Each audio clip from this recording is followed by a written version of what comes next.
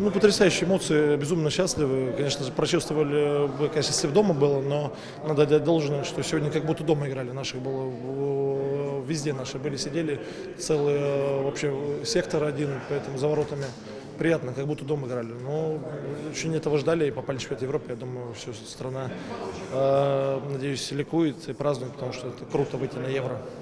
Россия забила первый гол, второй, второй, третий и не останавливалась. Такой настрой был? Да, ну, в, первом тайме в конце немножко якорючек бросили, но в целом э, со второго тайма начали включаться, включаться, включаться, конечно, нам нужно, нельзя останавливаться, в этом наша сила, Э, движение, э, прессинг, то есть и хорошо, что забили, ну вратарь надо дать должен, потрясающий, вот вышел испанец, это Урку, очень, очень, очень приличный вратарь, приятный прям. Во время матча думал о том, чтобы забить и пополнить свой голевой счет? Ну, изначально всегда ты хочешь забить, но нет такой прям установки. Когда 2-0 стало у них удалило, конечно, понимал, что нужно, нужно забить, нужно забить. Но так, когда себя чересчур накрутишь, не забьешь. Поэтому я в какой-то момент успокоился. И, и когда забил, безумно был, конечно, счастлив. Но вы видели, дальше я уже старался даже с убойных позиций скидывать на партнеров, потому что я считаю, что футбол нельзя обманывать. И если партнер твой более выгодное положение, это всегда у меня было такое. И даже меня, может, кто-то критиковал, что надо где-то бить больше. Но я все-таки такой, какой я есть, и горжусь этим.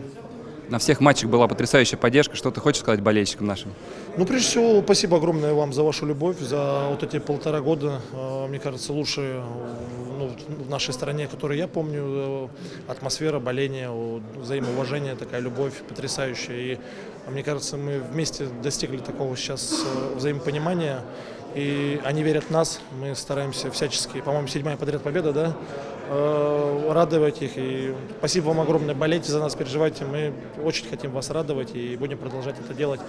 Теперь уже ждем Бельгию, посмотрим. Многие скептики говорят, да кого вы обыгрываете? Мы сами хотим с Бельгией сыграть, но, ребят, давайте порадуемся, пожалуйста, чисто по-человечески, то, что мы вышли на Евро. Все, спасибо.